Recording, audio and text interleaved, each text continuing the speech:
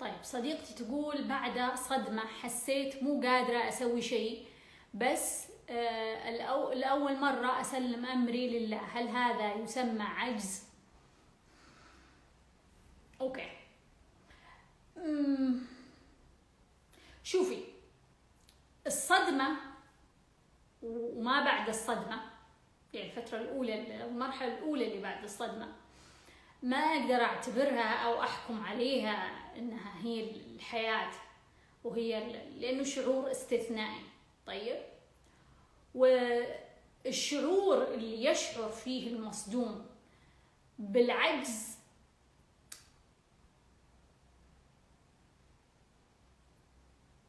هو شعور جيد. سوري إني أقول هذا الكلام. بس يعني قاعدة أحاول أقول هذا الكلام بطريقة جيدة. هم. أوكي خلني أقول لك. إنه أنت سقطت. طيب أنت سقطت.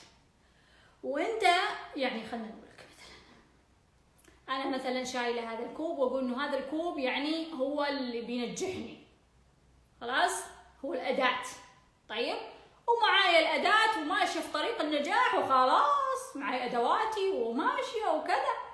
فجأة سقطت. بشعر بالعجز إني أنا الكوب ما عاد معاي والكوب ما يوصل. لو كان الكوب يوصل كان وصلني بس أنا طحت. صح ولا لا؟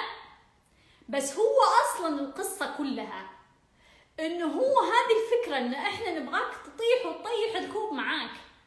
وإنه أنت ما عاد تؤمن بهذه الأداة وإنك أنت تغير الأدوات وتغير الأجساد وتغير المصادر وتغير الأفكار والمعتقدات والمفاهيم والقيم. هذا هو المقصود. لذلك في لحظة هذه لحظة الشفت اللي هي انت انت انت أنت يعني قاعد تشيل جلدة وتلبس جلدة. في هذه اللحظة أنت تقول أوه واو أنا ما معي الأداة السابقة. أنا شلون الحين أنجح وأنا ما معي الكوب؟ شلون أنجح يا جماعة وأنا ما معي الكوب؟ أصلا الكوب ما عاد يشتغل. أصلا كبر الكوب ما عاد يشتغل. ما معي أداة. إيه, إيه هذا هو المطلوب. إنك الآن تبحث عن أداة جديدة وتبني هوية جديدة وتبني قصة جديدة. اللي حضر معاي آه نظام الصدمة يفهم هذا الكلام. لو في أدوات وأفكار وكل شيء بس الأهل يمنعوني يمنعون كل شيء ويخلوني عاجزة طوال الوقت وش أسوي؟ هاي حبيبتي مو أنت تقولين عندك أفكار؟ وين أفكارك؟ ها وين أفكارك؟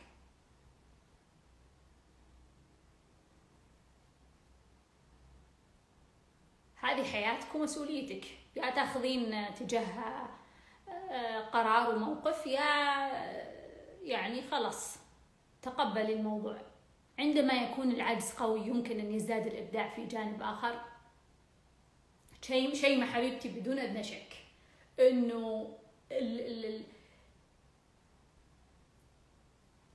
ضخامة وحجم المصادر اللي عندنا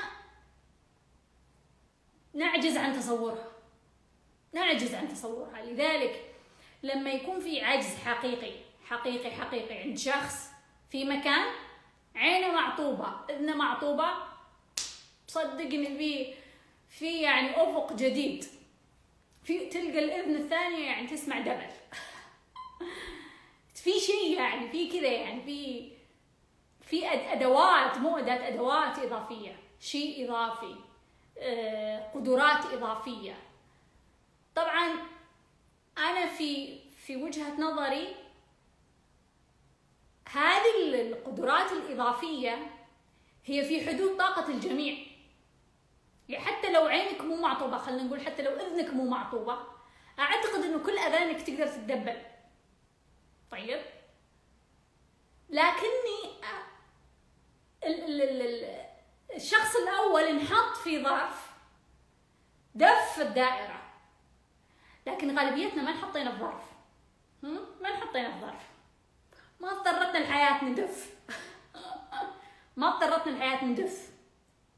لكن لما يدف لما يدف الواحد ويطلب يدف ويطلب قدرة أو إمكانية من المحتمل إنه يوصلها. من المحتمل إنه يقدر يوصلها. أه ونتوقع كثير ترى على فكرة أنا أتكلم الآن ماديا أتكلم إنه إذنك هاي تعبانة هذه تصير أحسن. عينك هاي مثلا أو اللي مثلا ما يشوف أبدا يصير عنده قدرة سمع إضافية أو شيء زي كذا. على فكرة ترى ترى حتى على على مستوى الشعور اللي هي اللي نقول عنها آه، نقول عنها آه، الانعكاس رسائل الانعكاسات. لما لما يكون في ثراء فاحش يكون في فقر فقر شديد. هالطريقة. ف فأنت تعرف إنه إنه في اللحظة اللي يكون الشخص عنده عمق بهذا الشعور ممكن تلقاه يعني عنده كذا قدرات روحانية. تلقاه كذا مسكر عليه ولا في سجن ولا ولا في غرفة مقفول عليه ومعاقب يمكن فجأة نلقى عنده قدرات روحانية.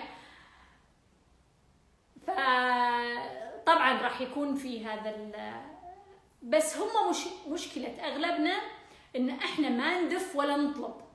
ما ندف في الدائرة ولا نطلب. ما نطلب قدرات إضافية.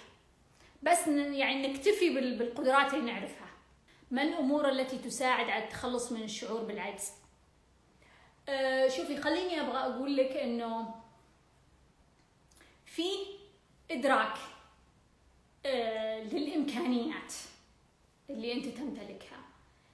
بما فيها إمكانياتك على المستوى الجسد الطاقي. وإحنا يمكن صار لنا أكثر من سنة وإحنا نعزز ونشتغل على الجسد الأثير بوضع النية كل شهر. كل شهر يعني سواء اللي حضروا معنا الكورسات أو اللي فقط يتابعوني في ال social media. أذكر طوال حط النية حط النية حط النية حط النية حط النية. يعني لو بالنسبة لي لو يعني شخص واحد حط النية واشتغلت النية ووصل نتيجة طيب حط نية النجاح ونجح حصل نجاح هو متذكر إنه هو اللي حط النية. فبالتالي إحنا إحنا قدرنا قدرنا نخليه يؤمن بال بال بالإمكانيات اللي عنده هو. بالقدرات اللي هو يمتلكها. بالإمكانيات اللي هو يستطيعها. وأنا راح أكون جدا سعيدة إذا في ناس قاعدة توصل لهذا الشيء. مرة بعد مرة إحنا نبني هذا الشيء عشان الناس توسع وتدف قدراتها وتتذكر إمكانياتها. فهذا إدراك. إدراك إنه أنت تدرك إنه oh wow حطيت النية وصار هذا الشيء حطيت نية الثراء وجاني خاتم ذهب. oh wow توني انتبه حطيت نية الثراء وجاني خاتم ذهب. طيب okay. خلني أحط نية كذا خلني أحط نية كذا. فتكتشف إنه oh wow يعني يبدأ إدراكك شوية يرتفع إنه عندك إمكانية. عندك إمكانية إنك أنت تحرك هنا شوي تسوي هنا شوي أه، تعدل هنا شوي تضبط هنا شوي. يعني عندك إمكانية إنك تعدل الطريق شوية شوية. فهذا أه، يساعدك إنه أنت تتخلص من من شعور العجز. لكن طبعا المشكلات اللي عندنا إحنا مرات نقفز نحط نوايا كبيرة نحط هدف كبير نجيب ورقة وقلم نحط خطة معقدة وكذا فندخل في سوالف وقصص تحد من قدراتنا. تحد من قدراتنا. فإدراك القدرات هذا شيء كثير مهم إنه يخلصك من شعور العجز. مرات تحتاج إنك تسأل نفسك وش اللي في دائرتي وش اللي مو في دائرتي؟ وش اللي عندي الأدوات؟ لا. وش اللي ما عندي الأدوات؟ لا. خلاص هذا هذا ما أقدر هذا ما أقدر okay هذا وهذا وهذا إي هذا هذا ما ما ما باليد حيلة هذا. كأنك تقولين course المسؤولية هو المخرج من شعور العجز. أه لا. لا إذا كنت فهمتي هذا مني فأنا أعتذر منك لا. بس أه هو كان صديقنا يتكلم عن موضوع إنه هو عالق. هو عالق. طيب إنه هو كأنه يفر في نفس مكانه مو قاعد يتحرك الأمور مو قاعدة تتحرك. ففي فرق. مرات إنه أنت عالق بس ما وصلت لشعور العجز مو بالضرورة يكونوا مع بعض. بس عموما خلينا خلينا نشوف مثلا آه، قوة التوكل تعطي الشعور الطمأنينة والشعور كذا التوكل اللي اللي حتى مع هذا العجز. وأيضا تدخل عميق في مخاوفك اللي ممكن تكون هي سبب عجزك. عندك آه، قانون التسخير آه، تساعدك على إنك أنت تدف الحدود. عندك آه، ثورة الفشل تناقش العجز اللي يكون عند الإنسان لما يعجز انه انه إنه ينجح. لما يطرق باب ويكسر بيبان ولا يشتغل موضوع لما يحس إنه خلاص الدنيا خربت ويبغى ينتحر لما يحس إنه طز في الع طز في كل شيء طز في كل النجاحات وكل الشهادات وكل الناس وكل كل الحياة كلها خراب. كل هذا الموضوع يعني العجز اللي يحس فيه الإنسان والألم والدرجات والدركات الظلام اللي كلها هذه موجودة في ثورة الفشل. والمسؤولية على موضوع تداول الطاقة فخلينا نقول كل كورس يعني يناقش العجز من زاوية كذا.